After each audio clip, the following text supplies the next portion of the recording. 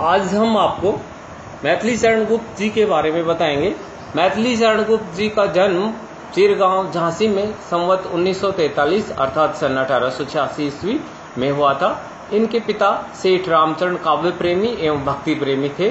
फलस्वरूप इनकी स्कूली शिक्षा घरेलू रही। हिंदी, बांग्ला, मराठी, संस्कृत आदि भाषाओं का इन्हें संपूर्ण ज्ञान था।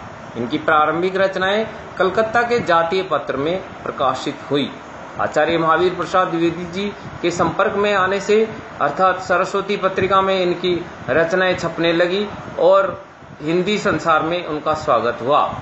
मैथिली शरण गुप्त जी की रचनाएँ इस प्रकार से हैं। रंग में भंग, जय द्रथ वध विकट भट्ट, गुरुकुल, किसान, सिद्धराज, भारत भारती, पंचवटी, झंकार, साकेत, यशोधरा, द्वापर जय भारत विष्णुप्रिया इत्यादि हैं।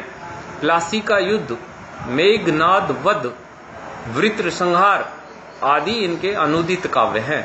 आचार्य महावीर प्रसाद द्विवेदी युग के सर्वाधिक लोकप्रिय राष्ट्र कवि बाबू मैथिली शरण गुप्त जी ने भारतीय संस्कृति का गौरवगान किया है। ये राम भक्त कवि भी थे। गुप्त जी ने प्रबंध एवं मुक्तक दोनों तरह के काव्य रचे हैं। इनकी रचनाओं में सत्याग्रह, अहिंसा, आदर्शवाद, मर्यादावाद, विश्व प्रेम, रूढ़ीवाद, छायावाद, गांधीवाद, यथार्थवाद, मनुष्यवाद, प्रगतिवाद के काव्यत्व का संगम है। वे संकीर्णता और सांप्रदायिकता से ऊपर उठकर विभिन्न वर्गों की उन्नति के लिए राष्ट्रीय और सांस्कृतिक चेतना जगाते थे। उन्होंने बाह्यार्थ चित्रण अंतर्वृत्ति निरूपण, जनवादी भावाभिव्यक्ति, व्यक्तिवादिता, काल्पनिकता, प्रतीकात्मकता के साथ ही साथ प्रकृति का आलंबन और उद्दीपन दोनों रूपों में वर्णन किया है। गुप्त जी ने खड़ी बोली की भाषा को परिष्कृत और परिमार्जित किया है। भाषा में सरलता, मधुरता, सुस्पष्टता और शुद्धता लाने में गुप्त जी का योगदान अविस्मरणीय रहेगा। मैथिली शरण गुप्त जी की मृत्यु सन उन्नीस ईस्वी में हुई। संकलित अंश। जो कि पद्य प्रवाह में मैथिली शरण गुप्त जी की कविता मातृभूमि और वही मनुष्य है कि जो मनुष्य के लिए मरे, अंश स्थान प्राप्त हुए हैं।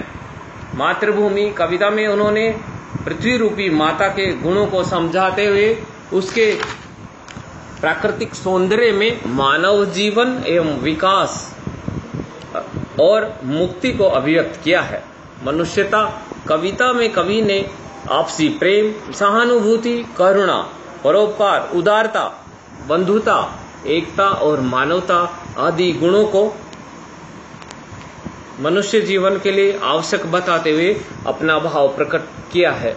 वर्तमान युग में इन्हीं गुणों की मानव जीवन में प्रासंगिकता है।